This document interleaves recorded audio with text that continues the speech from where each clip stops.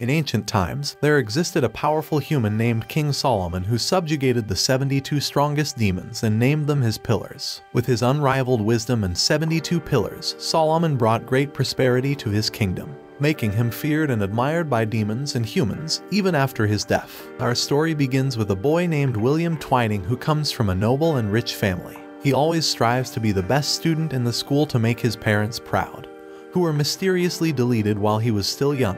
But one day, William is summoned to the principal's office and informed that his semester fee hasn't been paid.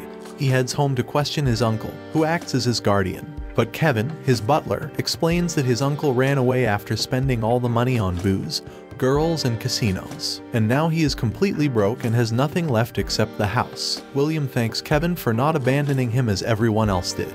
But now they got to focus on the problem. Not that they can barely afford food, but his school fees. Because you know, you can always eat your books. He and Kevin then search the house for any valuable item and unexpectedly discover a hidden treasure room in the basement. William breaks into the room, cutting his finger in the process. His dripping blood accidentally activates a magic circle drawn in the room, summoning a mysterious demon who introduces himself as Dantalion the demon reveals that William is a descendant of King Solomon, the strongest human in history. But he cannot rule hell because he's a human, therefore.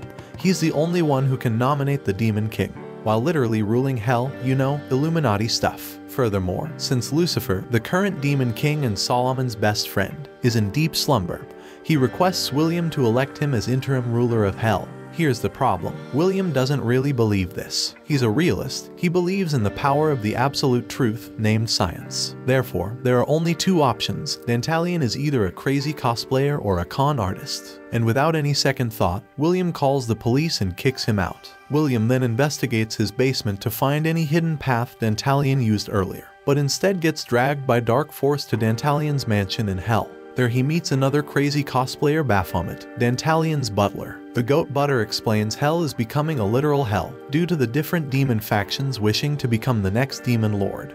And they can only do it if William picks them. But our boy is like, nice British water, I don't believe it, take me back and stop scamming people. Suddenly, a demon named Jills appears, blasting the mansion away. He came to take Dantalion down and take his place as one of Solomon's pillars, but instead, he finds a human, he decides to take William with him, as demons always love to have human toys. But Dantalion appears and saves William by attacking Jills with his firepower. In response, Jills strikes them with his electrifying power which Dantalion blocks using his magical barrier. Dantalion and Jills then engage in fierce battle whereas William thinks it's some nice visual effects, but still wants to go back home. During the fight, Dantalion becomes aggressive due to Jill's mocking comments and starts unleashing his true powers, which can literally destroy the path connecting the two worlds and he will be stuck in hell forever. Enraged, William orders Dantalion to stop, making his demon powers vanish in a second.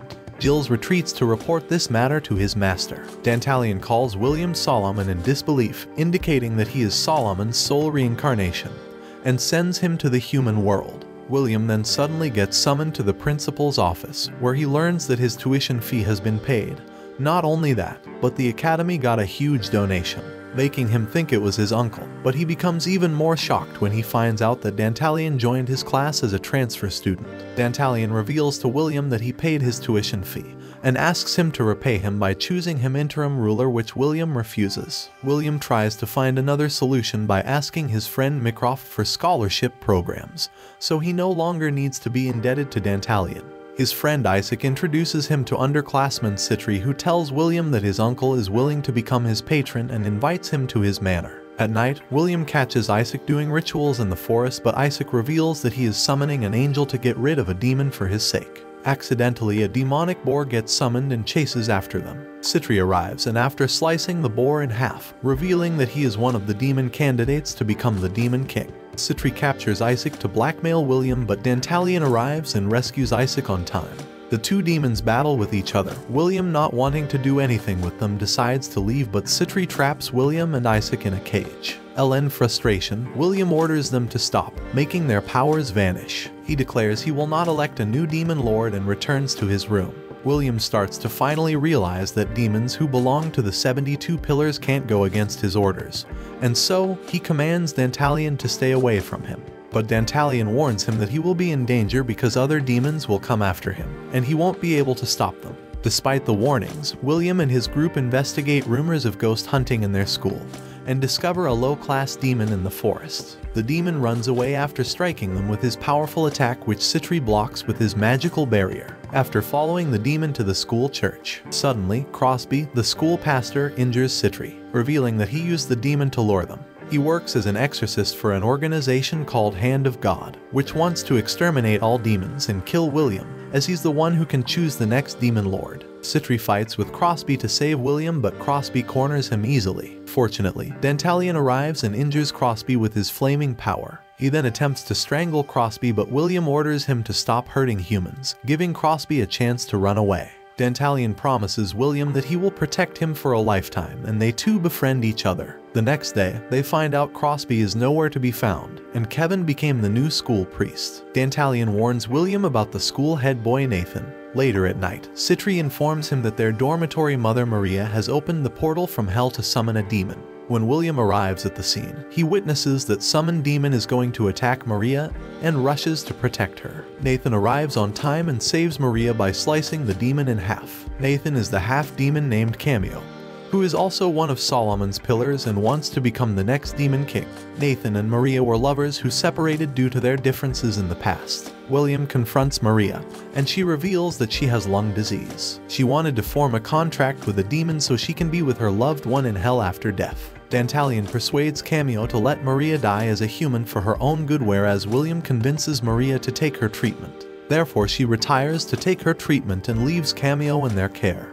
Mycroft informs Williams that his father has invited him to a dinner party. He attends it with Sitri and Dantalion, where he learns that Mycroft's father died long ago, and his corpse is possessed by a demon named Eligos who is a subordinate of Beelzebub.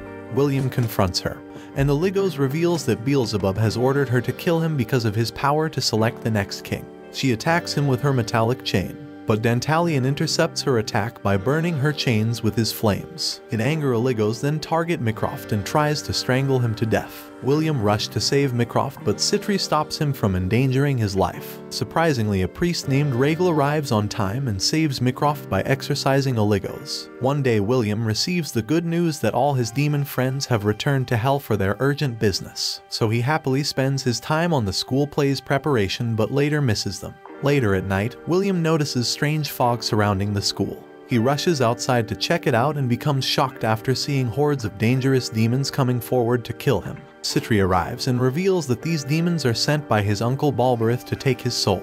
He protects William by slicing demons left and right with his powers but gets injured by one of the demons. This endangers William's life but Dantalion arrives on time and saves William by annihilating demons with his flames. After this a demon tries to launch a sneak attack on William but a mysterious protection barrier gets activated and kills that demon. His protection barrier then starts exorcising Dantalion.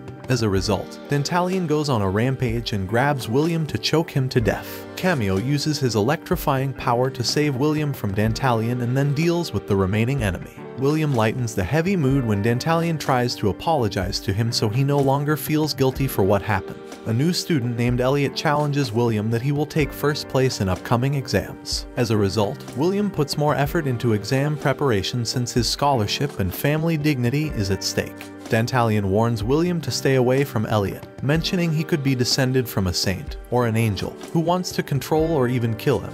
But William dismisses his warnings, walking away in range since Elliot is performing better than him. Later during the last exam, answer notes appear on William's desk out of nowhere as if magic, resulting in him being accused and locked in a punishment room for cheating. William goes to trial to clear his name, where he gets asked the most random question ever. Who does he love more, God or the demons? Suddenly, he gets transported to another dimension, where he meets Elliot. William tries to confront him, and Elliot introduces himself as Archangel Michael, the leader of all angels, and reveals that he is planning to make him heaven's pawn. Michael strangles William and tries to stab him, but Sitri arrives on time and tries to save him. Michael then blackmails Sitri with William's life to make him back off. Dantalion appears and saves William from Michael's grasp. They engage in a fierce, where Michael overpowers and takes Dantalion down. But Michael's mistake is to start talking about Dantalion's past, enraging the demon, who unleashes his true power and takes the demon down. Filled with rage, Dantalion starts channeling all his firepower to finish the angel down.